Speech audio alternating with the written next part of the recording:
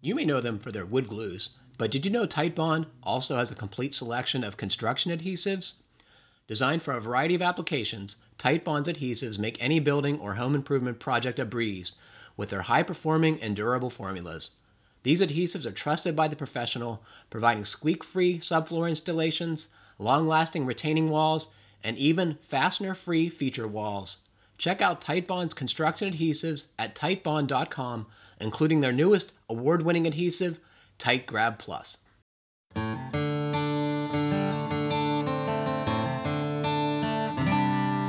but I don't think that's widespread enforcement throughout the country. There's no HVAC contractor that wants to fail one of those tests, so it's raised their own standard because they keep getting tested, and when they fail, they have to go back. So they realize that it's better for them to do it up front.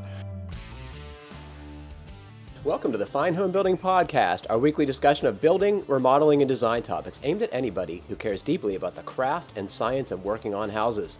I'm Senior Editor Patrick McCombe. Today I'm joined by Fine Homebuilding Senior Editor Brian Pontolilo. Hey everyone. Fine Home Building Editorial Advisor Mike Guertin. Hello there.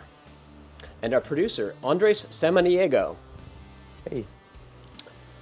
Please email your questions to fhbpodcast at finehomebuilding.com. you can find previous podcasts and check out the no- show notes at finehomebuilding.com slash podcast. Great to see you guys this morning. Thanks for being here. Thank yeah. you. Oh my gosh, we hold on, folks. We got an amazing show for you today, and uh, I can't wait to talk to you all about it. Uh, Mike, just briefly, we, we have another discussion we want to have in our check in. Uh, you've been doing a lot of site work, and uh, your place looks amazing. Well, thanks. Um, you know, it's it's always nice to start with you know good bones and just keep making it better and better and better. And so the last couple weeks has been I've been outside in the backyard just resculpting sculpting the the the uh, contour of the land so I can get the the water to drain away from the house instead of towards the house, and part of that'll be a, a patio in the backyard. So yeah, I've had a I blew out the front tire on a the micro backhoe that I had, overloading the bucket with some crushed stone and, and then turning the wheel a little too sharply and the sidewall blew out. But there was already damage to it, so it wasn't entirely my fault. And, uh, Do they yeah. ding you for that, Mike, if, if you uh, flatten the tire on a machine? Well, you know, that's the thing. Most of the rental companies, they offer you the, uh, it's like the collision damage waiver yeah. for, for uh, rental cars.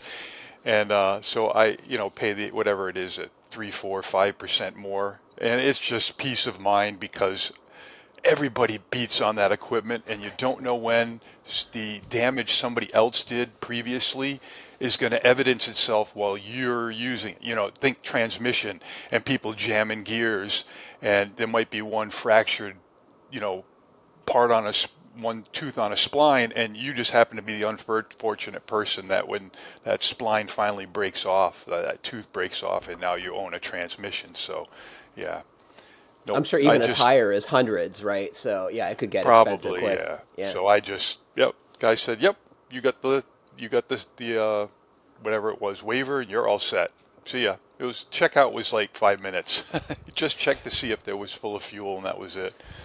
You heard it, folks. Give me the insurance. That's what Mike says. Yeah, yeah. You know, when uh, when we were building this house, um, we had we had um, we didn't have one issue the whole time with anything happening on our site. We're in a rural area where um, you know on a pretty quiet road. Um, the the only the only thing um, that surprised me that happened on the site was when I had a piece of rental equipment, someone spray painted graffiti on the door. some no. some lo- local kid must have come by with his spray can and decided to spray paint some graffiti on the door. And um, for whatever reason, um, the rental company did not ding me for it. So uh, that was maybe maybe they're used to that kind of thing. Maybe it was easy enough to clean off. I'm not sure, but thankfully they didn't uh, they didn't ding me for that repair. So you got tagged. Your heart must I got tagged. yeah. yeah. That must have Andres, really have upset ever... you when you saw it. I'm sorry, Mike. I said that must have been really upsetting when you saw it. It was like, oh my gosh, now what? Right. yeah. Yeah. Exactly. Yeah. Andres, have you ever read it, Heavy Machinery? Uh, let me. I I rented the ones, the lift ones, you know, for like the high ceilings. I rented those. Other than that, I just rented like a small equipment. Like I needed to um, to redo the the flooring, the concrete floor of a garage. I rented the machine to like um, send send all the the, the goof away. Other than that, uh, the jackhammers I rented those, but other bigger than that, nah, I haven't yet. Well, That's still quite take a bit. take advantage. Figure out a project because it is super fun.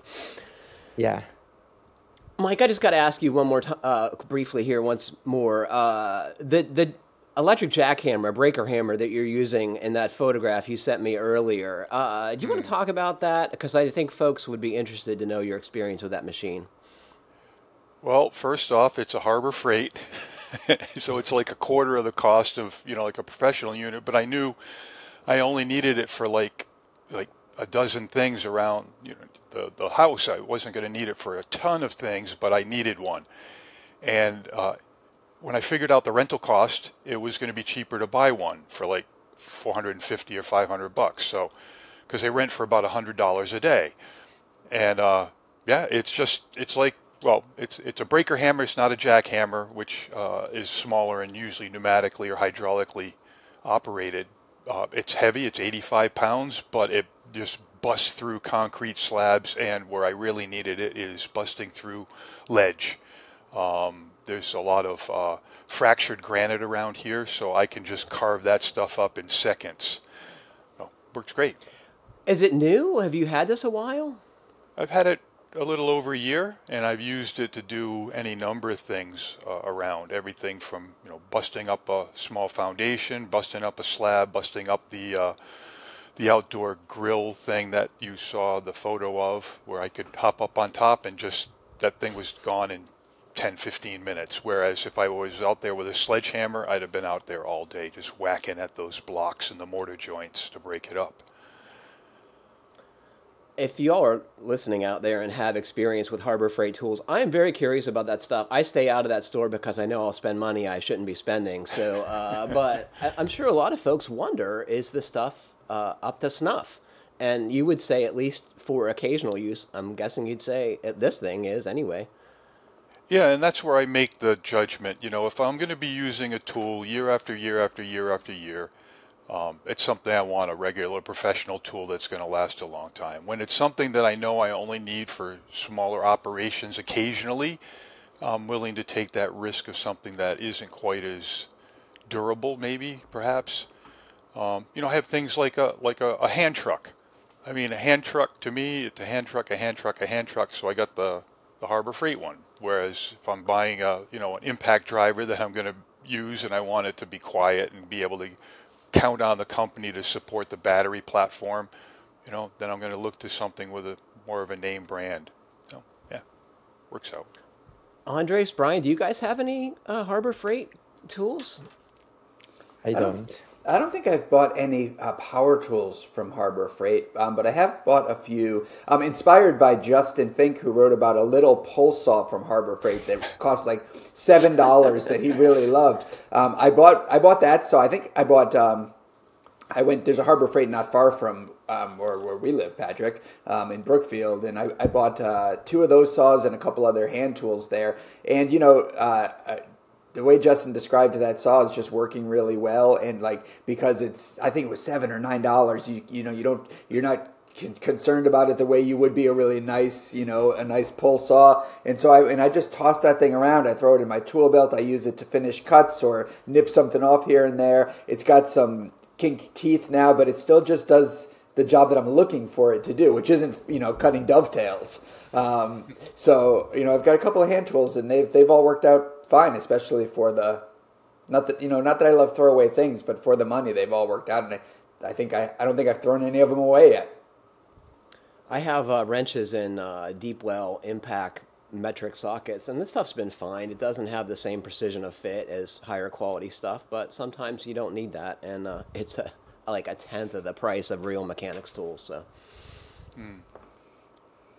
well, Campbell, one of our regular listeners, uh, sent us a link to an article that I thought was really pretty well done, uh, and I'll put a link to that on the podcast page if y'all want to check it out. But it talks about the uh, state of the HVAC industry, specifically uh, the lack of training amongst technicians. And uh, Mike, you had thoughts on that. Do you want to go first? Um, sure. Do you want to just give a summary of that that that piece that that Campbell sent us? Before I, um, I would say that uh, it describes first uh, a reporter's experience having a, a technician uh, come to his house to uh, install uh, air conditioning right on his uh, existing furnace, as I recall. And this gentleman, this reporter, had done some work in, I believe it was the weatherization business, and had some familiarity with upgrading HVAC equipment and he asked the technician uh, if the new unit would be able to communicate with the old one and the technician said uh, that it would it would be able to communicate and it would just know that there was new equipment attached to the uh, blower motor, and I'm guessing would increase the speed accordingly for air conditioning. Um, but yeah, is that a pretty good synopsis, Mike? That introduces it, and then yeah. and then the uh, the author Jesse Smith goes on to describe, you know, the, the, the problems with that he sees with the HVAC industry, and um, then some some recommendations, um, and that you know how widespread the problems are. Um, that that we've talked about any number of times, uh, focused on residential. I think uh, a, a, bit of what the article uh, covered would it kind of leaned a little bit to me anyway towards the commercial side of things. But uh, it the the article made me frustrated in two ways. One was that the so, some of the solution I mean the solutions we all know it's it's workforce development encouraging new people to come into the workforce. And then it comes to you know like just following basic installation practices and standards which are outlined. And that some of the culprits in why those don't get fulfilled are you know the, the attitudes amongst both clients and just general contractors i guess though he didn't explicitly say it that they're not knowledgeable. A lot of us aren't knowledgeable about hvac so we don't understand when something's running properly or improperly. Um, and then uh, enforcement uh, in part and then training.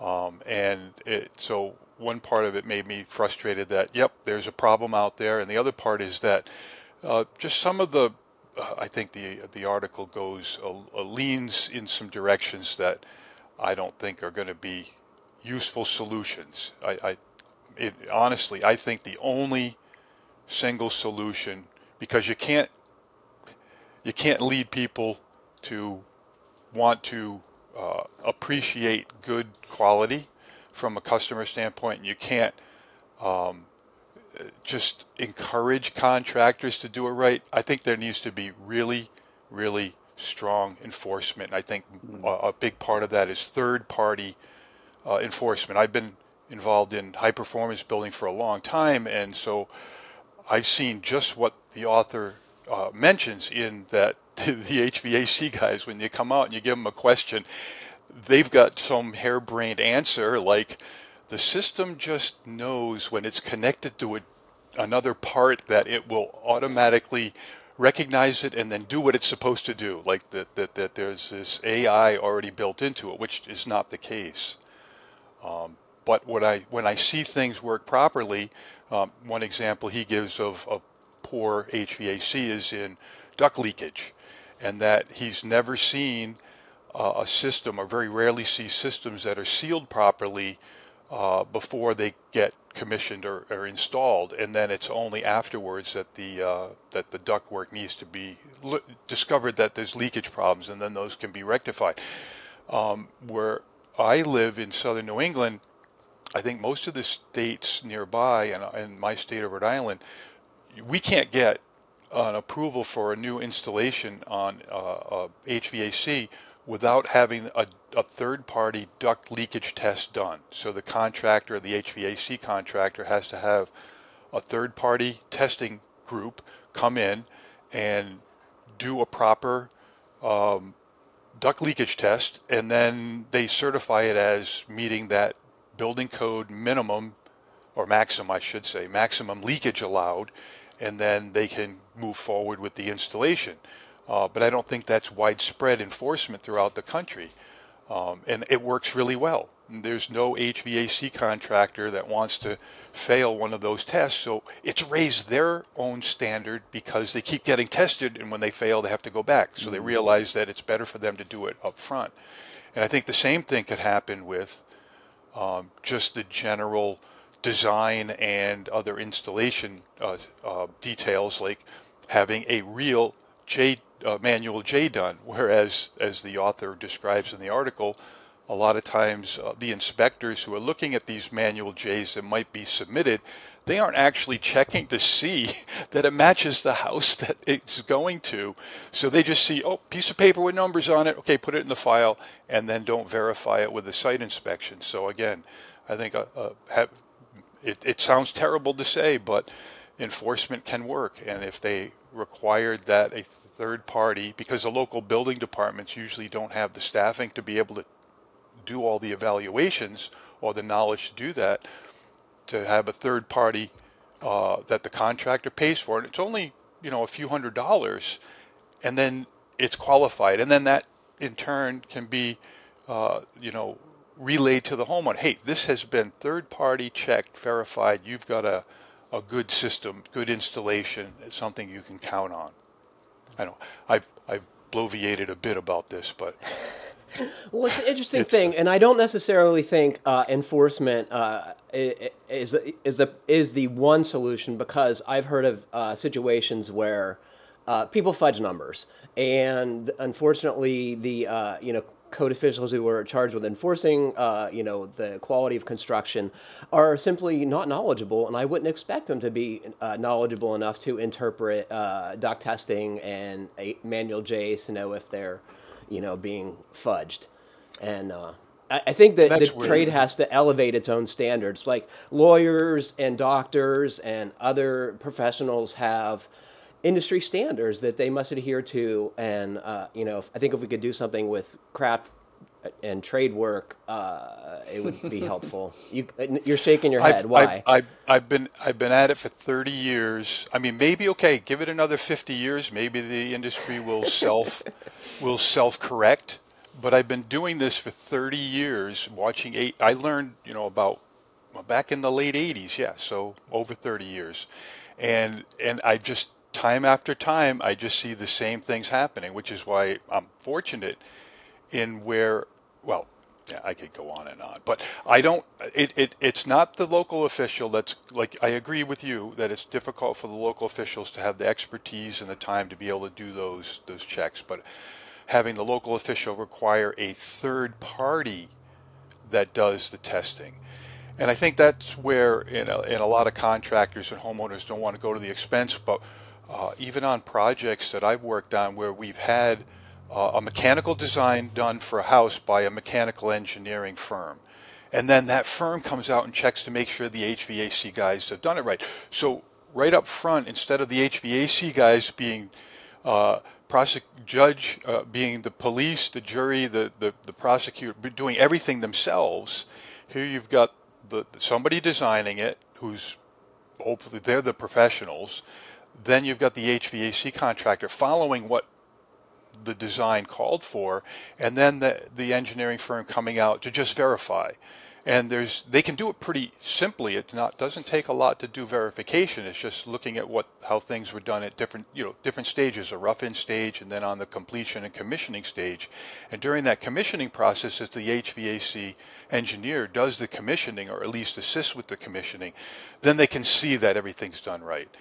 And it it it I mean, I you as a contractor, I'm putting my trust into that third party, but from what I've seen and what I know from taking lots of classes on installations of HVAC equipment, both uh, on the uh, the air delivery side, water delivery side, and on the equipment side, I can see that they're checking all the boxes uh, on the on the on the, the checklist of things you got to ch- verify.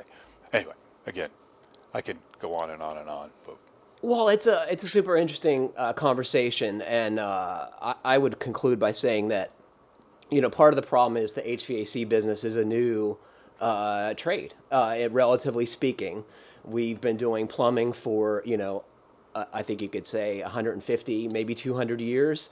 HVAC uh, really in its modern uh, sense uh, only started being mainstream in the in the maybe 50s, 60s, and the equipment has changed dramatically in the last two decades, and uh, it's we're clearly not doing a good job training people.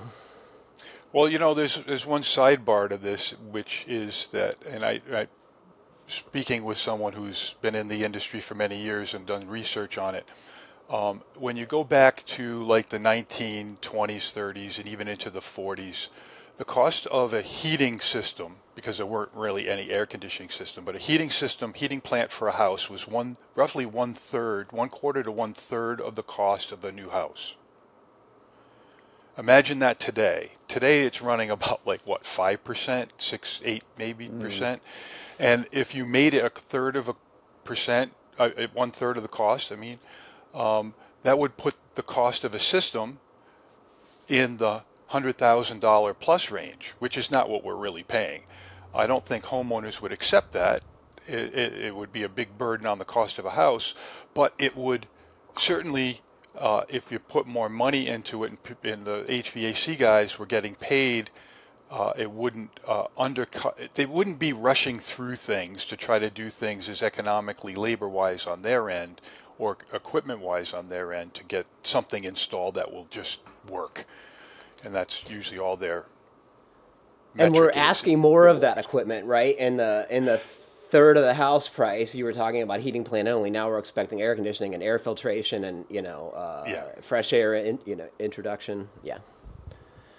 Well, if you all have thoughts on the HVAC industry or anything, I hope you write in because we always enjoy uh, hearing from you. Just like Jonathan, he says, "Hey, FHB podcast team, thanks for the thorough discussion." And excuse me, I'm getting ahead of myself. Uh, this comes from uh, Campbell, who sent this article, and thanks for that, Campbell. He writes, uh, Every now and then, y'all folks read an email from someone who expresses their appreciation for giving them the wherewithal to tackle DIY jobs. I'm not sure I've ever explicitly said so, but as an FHB subscriber for probably going on 15 years, I owe you that. This was a job I did in 2018 that I couldn't have taken on with, without the truly expert advice from the magazine. Also, yes, that is a softwood Douglas fir flooring in the kitchen. It matches what was there originally, and it matches the rest of the house, and could be uh, installed by uh, ins- installed in such a way as to accommodate the out of flatness inherent to a 130 year old subfloor. Um, yes, it's slowly getting a little dinged up, but that's fine. It adds character. Campbell, thank you for writing in. And your floor is beautiful. I love Douglas fir. Folks have heard me say it. What do you guys think? It's a nice kitchen, right? Yeah, I think uh, I think he's doing a, a great job. It looks awesome, and I have a softwood floor too. So uh, you know, um, I, I I appreciate the the. Um, not only do I have a softwood floor, um, but I chose to uh, oil it, Campbell. So um, I have the, one of the least durable floors in the world, um, and you know we just decided to uh, we just decided to accept that you know accept that it, this is a floor that would patina, and hopefully you know you know what what happens I think at first is that you get a few dings or a few scratches and and it feels awful, and over time it just it becomes the look of the floor. That's that's that's what I tell myself. Um, I'll, I'll let you know if in ten years, you know, we're moving all the furniture from the living area into the bedrooms to refinish and polyurethane the the floor one half at a time. We'll see, but uh, yeah, I think that's worth pointing out is uh, decisions that can be changed later. I don't know if that's Yes. ever a bad idea, right? You can decide to finish that floor later. absolutely, yeah. Um, Jonathan wrote in earlier, uh, uh, and we discussed his uh, hardwood floor installation in, on his basement slab in uh, episode 587, and I'll put a link to that on the, on the podcast page. Uh, Jonathan writes, uh, "Thank you for the, your thorough discussion in 587 on in the after show on installing hardwood flooring on concrete in basements." carpet and padding. So I asked Jonathan what was on his floor now, which was an answer we didn't have in our uh, original conversation. And it turns out he's got asbestos tile, uh, uh, vinyl composition tile, I guess, uh, and the asbestos uh, is in the tile itself, not in the adhesive, which is sometimes the case. and uh, I asked him about uh, doing a uh, a test to see what the vapor transmission was because I think you guys would agree that we decided that was an important part of this conversation. And he taped a piece of plastic on the floor and didn't get any fogging, so uh, he has concluded it's fine. But uh, he's also in, uh, I believe, Minnesota, so I'm not sure that the vapor transmission would be as great in the wintertime when a lot of the groundwater is locked up uh, in frozen soil. But I might be wrong about that. Mike, do you have a, th- a thought on that? Am I on the right track? You I, don't know. I think you are, but, but Yeah. I'm not sure. It's, site, everything's so site specific. You know, if he has a, a low water table, in other words, he's way above the water table, and there's a lot of gravel, uh, the air might just evacuate most. The air in the soil might evacuate most of the moisture in it. May not have a problem at all. It Could be just a naturally dry basement, which is fortunate. And so I think we stand by our, uh, you know, uh, installation guidelines, which was to check fine home building uh, for some assembly uh, instructions and, uh, you know, see what it, what, uh, what, what can be done, and based on a, either this fogging test or more ideally a calcium chloride test, which is I think a little more conclusive. And I would also do it in the wettest time of year to see if that is of concern while he was uh, corresponding with me, he pointed out another problem, and um, he sent some photos of that that I'll include in the podcast page. He said there's a ledger slash support beam above the sliding patio door that is directly beneath a sliding patio door above that walks out onto a deck. I thought there might be a mold or rot issue, but poking the boards yields solid sounding boards, and the fungus doesn't seem to be damaging the wood. So uh, there's like a little air leak, and it looks like some mushrooms are growing around it. Is that a fair description, Brian? Uh, yeah, I think so. And uh, he he suggests the gaps between the boards leak a substantial amount of air. So the only thing I can think of is that due to the air leakage and the moist air leaving, the fungus can grow. Although who knows if this grew and halted years ago. Uh, I would love an, any and all feedback on this issue since it now seems to be the most pressing one. I'll respond with more pictures and info that I have. So I think this is clearly an air leak, and it's created a uh, condensing surface, right? It's made this surface cold, and because it's a you know a biological material, uh, framing lumber, uh, this little fungus has uh, taken hold. Do you guys think there's anything to worry about here? Eh, There's always something to worry about.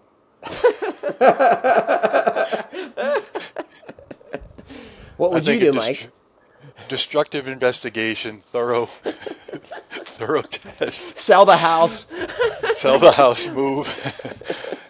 no, I, I, I think it's probably fine. Just mon- monitoring can be, uh, is, you know, just keep an eye on things. You know, that's always once. If anything you do, just keep an eye on it afterwards, and just see that something doesn't uh, redevelop.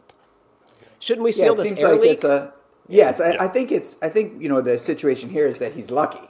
You know, he's got either some. He's got either air or, or water getting to this location somehow, and he's lucky that he doesn't have rot. So, but but but it's getting there, and so what he needs to do is figure out how the air and or water is getting there and take care of that. I think I'd caulk that little joint first, or put some air sealing tape on it, and uh, yeah, see what happens. Yeah. Andres, what do you think? Have you seen m- mushrooms growing on your house ever? No, not mushrooms. Only outside, but not inside the house.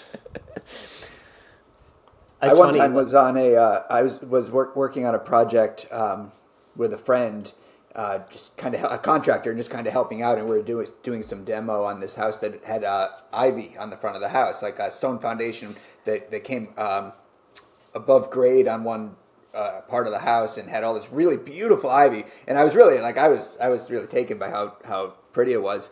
And uh, interestingly, we opened up the walls above the ivy on this project, and it had it was the, the walls which were uninsulated um, and, and didn't have WRB on them or anything, just board sheathing. The walls were full of the ivy. Um, it had grown. It didn't have any leaves on it, and it and the and the stems were uh, they were just white.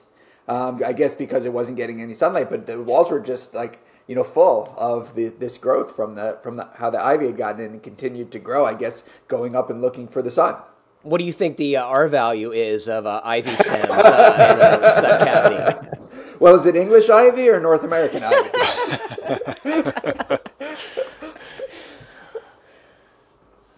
And so the thought of ivy on houses gives me a kind of visceral reaction, and uh, you know it is cool and pretty, but oh my gosh, it's probably a terrible thing to do to your house. You're nodding, Mike. You agree? Yeah.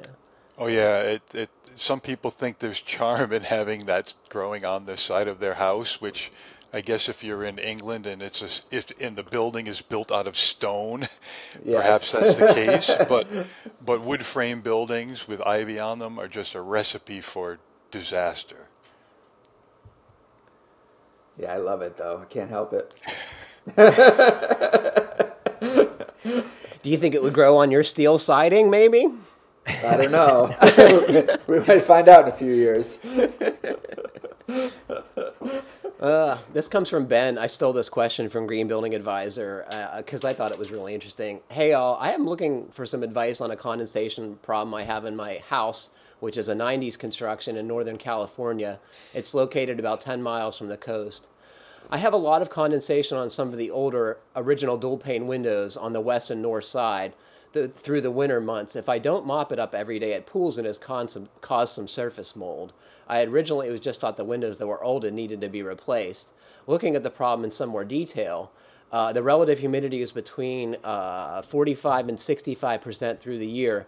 I think being close to the coast and having misty mornings is contributing. I purchased a standalone 50 pint dehumidifier, which is running 24 7 and has 100% stopped this condensation and brought the relative humidity down. There are close fitting honeycomb shades on the windows. This has not helped the condensation issue. The crawl space does not have a vapor barrier. Luckily, the house is on the top of a hill, so water drains away very well. Originally, I was going to replace the 5 plus windows, but now I'm thinking there's a better plan.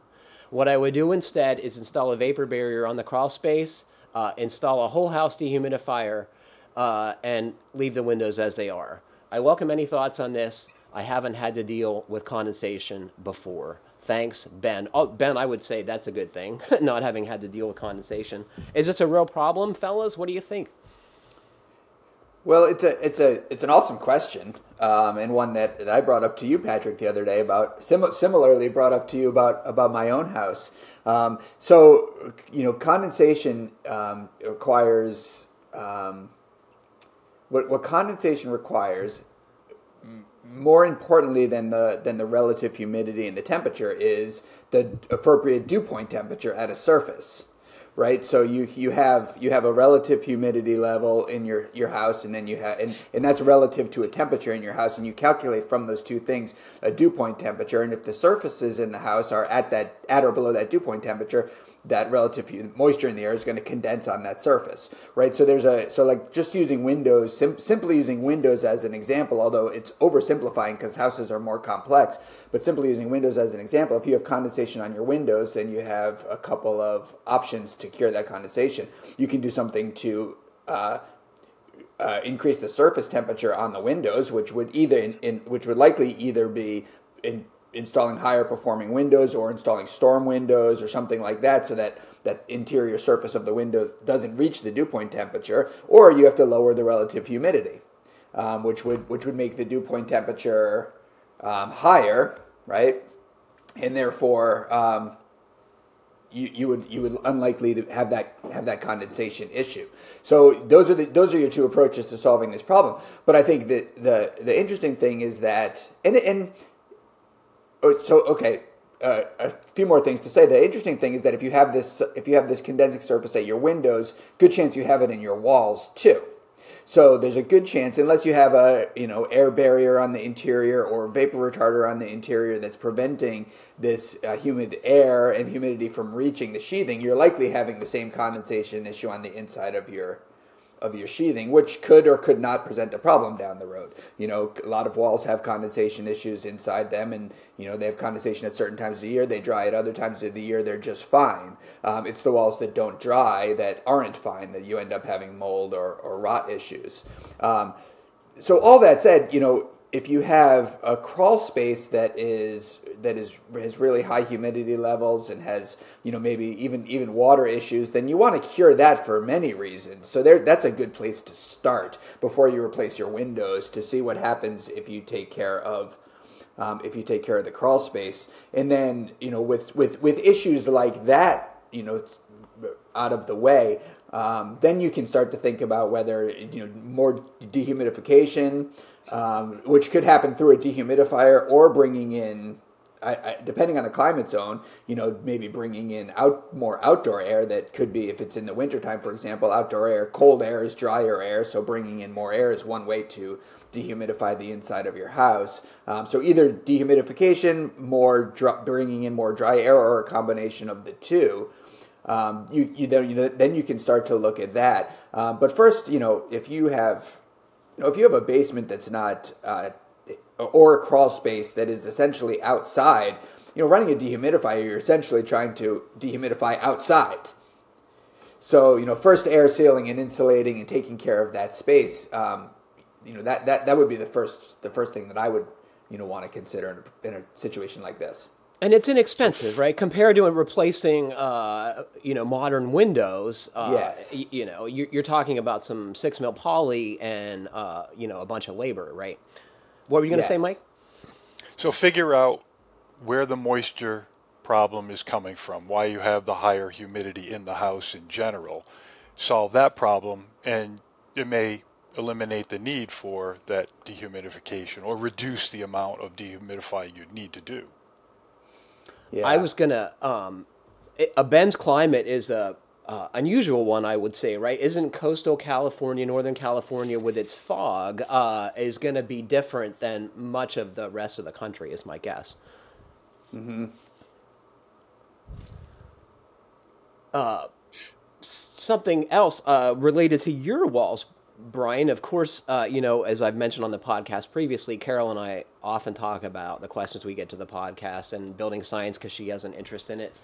You know, Carol's question with, with regard, you were worried about moisture accumulation in your walls owing to your house uh, was 75 degrees heated from the sun and had uh, 55% relative humidity inside. I think most folks would say 55 is a safe number, but you're worried about moisture accumulation on the inside of your sheathing that would I presumably would be moving from the interior of the house through uh, vapor diffusion into the insulation and thereby condensing on the uh, sheathing because that's the coldest surface. Do I have that roughly uh, right? What you're worried about?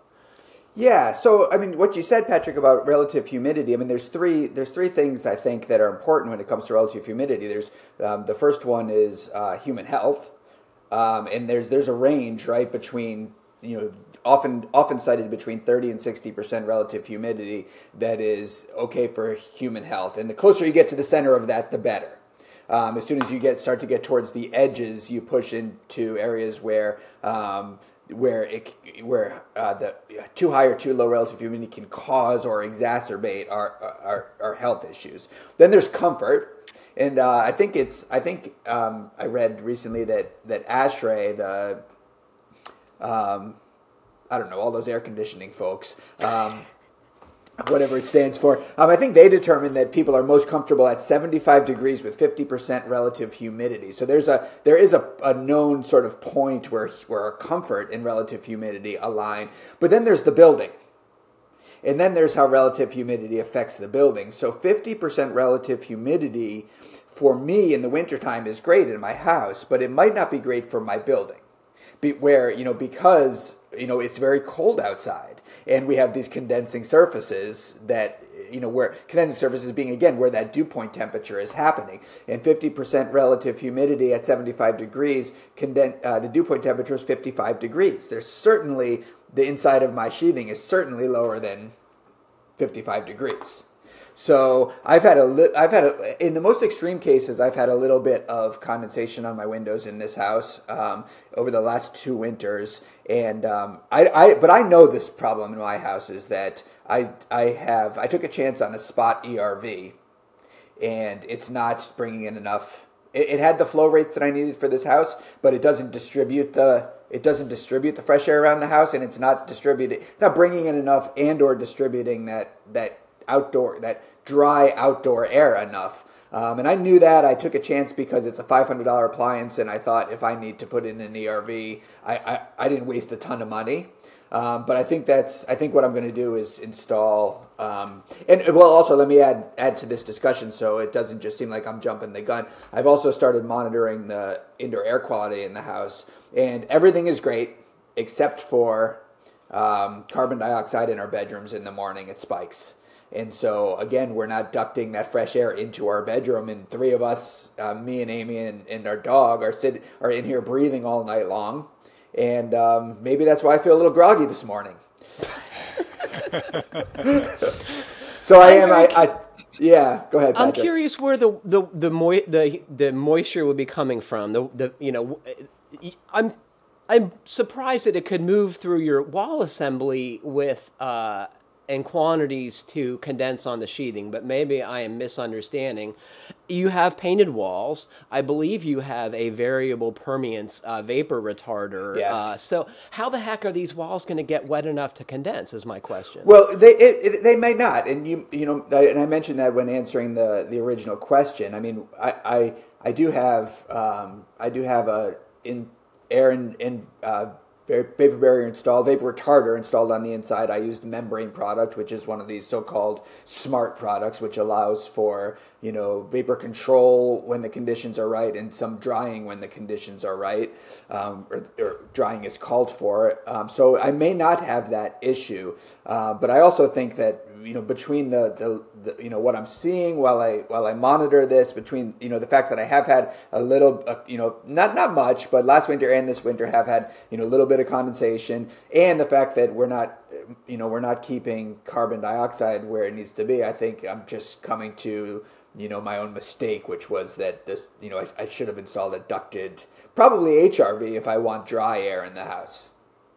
If I want dry winter air in the house That seems like a great Fine Homebuilding article is installing uh, a, an ERV in, in your house. It seems like a very uh, manageable project versus a much larger space with a, a greater complexity of floor plan. Have, have, do you have a route uh, planned out for well that's stuff? yeah and that's one of the reasons that's that's the other reason why i was a, i was willing to kind of take this uh, chance on um, the spot erv um, and be, because i have a, an unfinished a lot of the basement is unfinished and i have access to i still have access to all the you know the floor system and can easily um, pop ducts up where they need to go That sounds like a fun weekend project, cutting holes in your house. I can't wait. Sign me up. if y'all have thoughts on Brian's humidity issue or Ben's, Yeah. uh, I'd love to hear from you. It's uh, I, I, still feel like this is the newest building science issue we're trying to tackle, both on the podcast and in the larger uh, building world. Right? It seems like air uh, movement and that kind of have we figured that out, but vapor uh, concerns seem like to be the new thing to worry about. Do you guys agree with that statement? Yeah, and they are different in. You know, the the tighter houses get, um, the the the the it's changing things, right? You know, you didn't need to bring dry, cold air into an old, you know, eighteen hundreds farmhouse in New England, um, but a house that even meets, you know, the the uh, code requirements for air sealing. You know, you've you've changed the uh, equation on on how the house is going, you know, how the house is going to be in terms of dehumidification. And, you know, Emily Mottram uh, wrote a short piece for the magazine recently where she used the phrase HVAC plus D. And I said, Emily, what's this? And I had an idea, but I said, Emily, what's this? And she said, plus dehumidification. And um, and we you know we added a little reference about that, and she thinks you know that she's she's feeling that uh, pretty certain that you know throughout the whole country we need to start to include you know uh, dehumidification and and the loads relative humidity loads on a house in in our you know mechanical design. Oh, great! Something else uh, HVAC techs have to get a handle on. That's super. Uh, this comes from Trisha. Hey, podcast. First, thanks for putting together such an informative show. I've learned so much from the podcast. One valuable tip I've learned from the show is to call support line to ask questions. I recently finished renovating a bathroom. I wasn't sure how to handle the new shower connection to the old cast iron drain line. I called the Sch- Schluter support line, and the very kind customer service rep helped me find a better solution. I can't stress that enough. And I don't know why people are call scared to call manufacturers of stuff, but they're usually the best people to ask. Uh, second, my question. The air handler and furnace are in the attic of my 70 year old house in Savannah, Georgia. Climate zone, hot and humid. Uh, the ducts to the bedroom have a short run to the registers at the top of the bedroom walls. The ducts to the living room, kitchen, dining room run down the crawl space and then out to the rooms with registers in the floor. I had the attic spray foam two years ago so the air handler and attic ducts would be in a conditioned space, which has helped a lot, especially in the summer.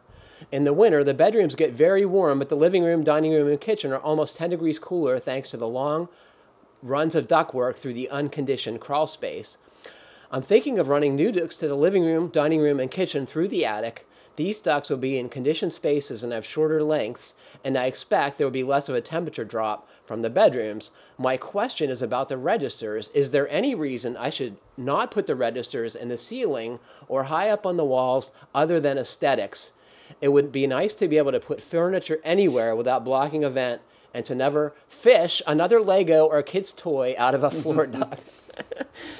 but there could be building science factor to consider of or unintended consequences that I'm not thinking of. Thanks for any advice, Trisha. Trisha, this is a g- great question. Who wants to go 1st Oh, go ahead, Mike. You seem into it. well, I'm, I'm gonna I'm gonna guess here uh, that as she mentions, the uh, air handler and furnace are up in the attic. So in order for there to be a duct down in the crawl space that's delivering the air to those uh, living room, kitchen, and dining where she's having the trouble. So that means there must be a vertical going down. So now you've you you're you're adding to that uh, ductwork. There's a tremendous distance from mm. whatever the for the for the up the units in the attic down vertically down to the, the lower level, below the floor, then across the lower floor. So she's right. Um, that that's probably the reason. The long, long ducts that you're not delivering the air to comfort to, to make those rooms comfortable. So uh, I think her solution is is simple, and I think it's going to be effective. Is just cut in some, uh, redo the duct work up in the uh, the attic so that you're delivering that air into those rooms directly through the attic. And I don't think there's going to be a problem running them through into the ceiling. Um, twofold. One is that uh, Savannah, Georgia, I'm going to uh, speculate that it's a cooling dominated climate. I think so that's a safe uh, assumption. so del- delivering cool air in the summertime through those ducts uh, into the ceiling that naturally cooler air is going to tend to sink. It's um, preferred, um, right? You, you, you would rather yeah, have uh, cooling registers in the ceiling. Yep. And then heat, if you were in a heating dominated climate, theoretically you'd want to deliver the air uh, through the floor and then it would rise because warm air is a little more buoyant. Um, but that doesn't, the other part of it is that since you've done that air sealing, or that the spray foam in the attic, you've pretty much air sealed the whole lid of the house. Uh, and it, I found that in a fairly tight house, uh, it doesn't really matter too much whether you're delivering your heating and or cooling through the ceiling or through the floor, that the temperature stratification that you get uh, of the temperature of the air through the, the lower part of the floor up to the ceiling is not as dramatic in a tight house as it is in a leaky house. Um, so I think that you'd be fine delivering it into those rooms. You get the shorter duct runs and you're going to be comfortable. So then there's no building science uh, issues with that. And you're not running the ducts through an unconditioned space, right? That is taking a huge hit on the air delivery temperature uh, to those, uh, uh the dining, kitchen, and living room, I believe it was. Yeah, that's. I think it's a great solution. Thing, it is, yeah. One thing she doesn't mention that we should touch on is uh, if there's any, re- what is the return ductwork situation? Mm. Um, if it's a central return versus a completely ducted return system, and that would be something as well that if it is currently a return system through uh, ducts in the crawl space, get rid of those. Uh, move those up into the attic as well. Uh, so that your return air is not subject to, as you're kind of alluding to there, Patrick, with the, you know, you're not sucking in uh, anything from an unconditioned space, sucking in uh, excess moisture or pollutants or mold that are down in the crawl space through the return ducts. Uh, Trisha, I'm not typically a big fan of flex duct, but uh, you know, in in short lengths, pulled tight, it works fine. I'm guessing that would make your work a lot easier up in the attic crawl space. Uh, and as Mike suggests, uh, roughly speaking, the uh, square inches of supply uh, grill should equal the return grill. So, uh, you know, do some rough calculations. And if you really want to get fancy, get an anemometer. Did I say that right? Uh, to uh, see what the air delivery is in the respective rooms before and after. And you're going to be able to pat yourself on the back for a job well done, is my guess. Yeah, send pictures and let us know how it works out seal your ducks, Trisha, while you're up there. If you're going to be crawling around, make sure you have a tub of uh, duct mastic or uh, some good butyl uh, tape and uh, do that work too, because that'll help with your air delivery also, and more distant runs especially. Uh, this is another question from uh, GBA that I thought was super relevant, owing to the incentives available for converting to a heat pump water heater if you're using a, a fossil fuel or resistance uh, water heating method right now. um, this comes from uh, 4ZOGO. We live in Chicago and have a four story townhome. Our top floor is a small bedroom that has a louvered door utility closet with a gas furnace and gas water heater. The gas water heater is showing its age and probably needs to be replaced soon. I'd like to put a heat pump water heater in instead of replacing with another gas unit. I had one company come out to give a quote, and the estimator basically told me a heat pump water heater doesn't make sense in Chicago. Full stop. Everything I've read about heat pump water heaters says you should put them in a room with excess heat. Our top floor definitely fits that description due to a stack effect, especially in the summer. That location actually seems like an ideal place for a heat pump water heater, in my opinion. I'd love to hear your thoughts on this and whether I'm thinking about this the right way. Oh, and then one more thing if a heat pump water heater does make sense, should we vent it to the outside? I'm thinking not, since we'd likely have to change the damper configurations with the seasons, which I very well may forget to do, and I'd like to avoid as many wall penetrations as possible. Looking forward to hearing your thoughts. What do you guys think? Heat pump water heater instead of gas in a bedroom closet? Yeah, I have a I have a question. Is you know we we um, there seems to be a lot of concern, theoretical concern about heat pump water heaters cooling the air, and you know, um, there you know dehumidification is looked at as a positive, but then people get concerned about cooling, and you know I've even seen people crunch the numbers and talk about how it was going to you know lower the temperature or increase their heating loads. But to borrow a term from Ben Bogie and Dan Kolbert, I wonder if this is one of those Yeti effects because as much as we as much as we hear about it from people asking the questions, I've yet to hear about it from someone who actually has an issue. I've yet to hear from someone who has installed a heat pump water heater and said, "Oh, this is the problem that it caused." But Mike's going to tell you he he ducts his uh, uh, heat pump water heater seasonally. Am I right, Mike? You you do uh, do this. Right, but I don't think that's the issue that Brian's pointing out, uh, or the non-issue that Brian's pointing out. Um, that's a, a, separate thing, which is. Uh, but you don't you don't do that to keep from uh, uh, artificially cooling a space you're trying to heat. You do it for other reasons. Um, yeah. So yeah, yeah, yeah. I, I, don't think you need to duct it out uh, necessarily. I, I, do it because uh, I, I it's more of an experiment. I just wanted to see what would happen if I could draw intake air to the heat pump from the outside. So when it's say 85 degrees outside and it's like say 68 or 70 in my basement where the heat pump water heater is located, I could get better performance out of the heat pump water heater using the 85 degree outdoor air. But I don't want to necessarily, and then in the winter, I don't want to dump the cold air into the basement when it's down to like, say, 64, 63 degrees in the basement just because it's running the heat pump water heater. So I duct that colder air in the wintertime to the outside. Um, and I'm fiddling with that at least on a monthly basis. So it's just one of those you know nerdy things. It's that, a hobby. Um, it's not a necessity, right? a, yeah, right. And I think that, and I think that you know, I think that's great. I mean, I've also I know uh, jo- Josh Edmonds, um, who's a who's a high performance passive house builder in in upstate New York or midstate New York. Um, you know, he likes to create a put the heat pump water heater in the laundry in the same closet as the laundry because the he likes the you know the ex, excess heat from the unvented dryer, which in unvented dryers kick out a lot of excess heat, and so he you know he likes that heat you know to be able to be used by the heat pump water heater. Like go for it, make it work as efficiently as possible.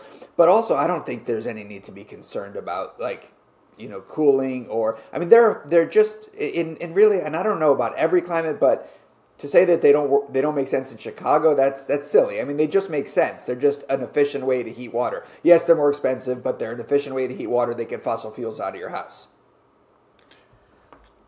What do you think the axe this uh, plumber is grinding with saying that heat pump water heaters don't work in Chicago? What is what is up with that?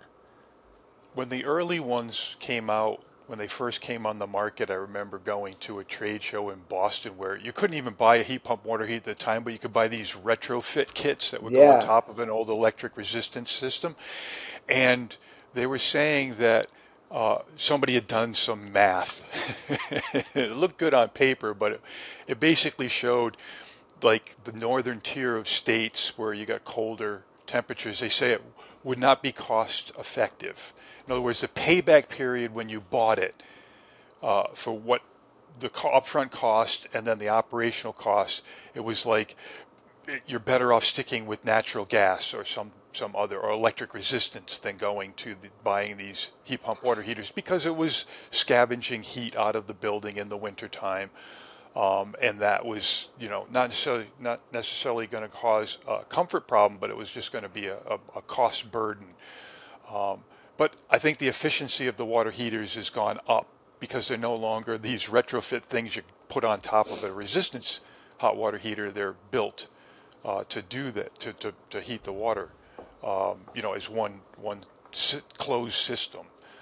Um, but yeah, they they pretty much shown that that no matter what your climate is, at least in the lower 48, that uh, they make sense, even if you're scavenging some of your heat that you've paid to heat, deliver into the house in the wintertime.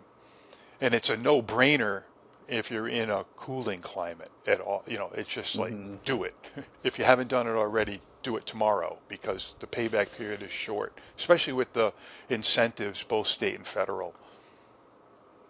I'm going to uh, offer two things based on you know uh, not efficiency or cost to heat water, but uh, you know I don't like the thought of gas appliances in a bedroom. Really, uh, you know we have all heard about weird weather events that blow out pilots, and you know modern uh, water heater, gas water heaters, I'm sure are better than the old ones, but you know there are situations where the water heater doesn't know it's spilling exhaust gases, and uh, you know that can be toxic. But the unfortunate fact of heat pump water heaters, as I understand it, is they make a lot of noise. So I don't know if I'd want that in my in my bedroom. Uh, you you're you're you're not you disagree, Mike?